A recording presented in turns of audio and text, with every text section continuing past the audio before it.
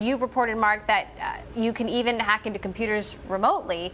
What exactly is going on here? That's right. So there's a flaw. Basically, it has to do with the root directory of your Mac computer. It's basically the underlying file system.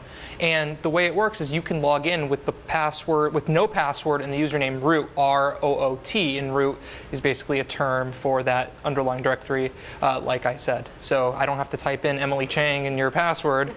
I have to just type in root and whatever. But there is a, a, fix for it coming out. Apple tells us there's a software update, but also users can mitigate the issue themselves uh, by setting a password to that root account. So anyone can hack anyone's Mac right now? Basically, if you have it physically in your possession and a person has login settings that allow you to type in a username and a password, you can do that. There is a feature to have auto login on, so every time you open my computer, it goes straight to the Mark Gurman account. But one of the default settings is to disable that. This same flaw also works if you are in the settings panel, and it would allow you to go in there with the root username and no password, disabling encryption for your storage drive, making your computer less secure, turning off a firewall, allowing people, intruders, to be able to remotely get into your computer. So this issue basically opens up a can of worms, and hopefully it gets fixed very soon. And if you don't have the computer in your possession, someone can also hack in remotely.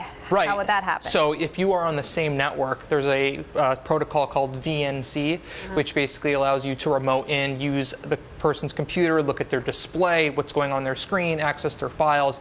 I can type in root as the username and no password if you have your Mac here from my Mac, and I can get into all your, you know, your pictures and documents and whatnot. Now they're issuing an update Updating your software on, on your Mac is kind of a lengthy process, though, right? I mean, it, that can take a long time. Well, they sort of trimmed it down. So now when the software update comes out, you basically go to the App Store, the Updates tab, and it will show you the High Sierra update. It's probably going to be 10.13.2. Uh, They've been working on this update for a bit.